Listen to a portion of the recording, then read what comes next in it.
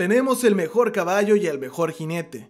Esto se le ha escuchado decir en múltiples ocasiones al candidato panista rumbo a la alcaldía de Nuevo Laredo, Enrique Rivas Cuellar, dejando en claro que él representa la mejor opción en busca de una modernidad que beneficie a la comunidad.